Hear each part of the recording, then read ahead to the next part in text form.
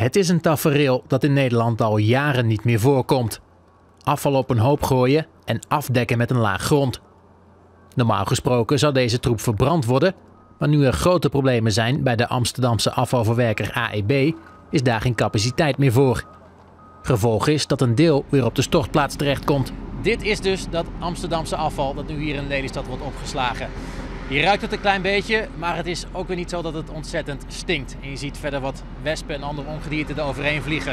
En ja, wat is dat afval dan? Bedrijfsafval, dus het is hout, staal, een karretje zie ik ertussen liggen, eigenlijk van alles. Het bedrijfsafval wat wordt opgehaald in Amsterdam is ook hoofdzakelijk afval van winkels en met name restaurants, hotels, uh, bij uh, NS, noem maar op. Een uitzondering is het, die gemaakt wordt omdat de nood hoog is.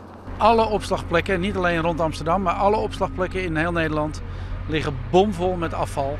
En uh, er moet gewoon worden afgevoerd. Terwijl er van de andere kant ook weer wordt aangevoerd, want de afval moet wel worden ingezameld.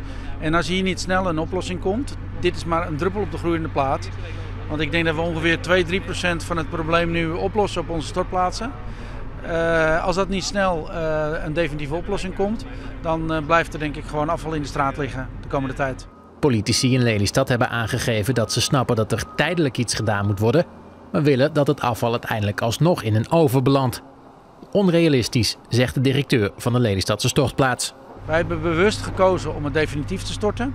En dat is om, eigenlijk om twee redenen. De eerste reden is dat we dat, dan direct heel goed kunnen afwerken met grond.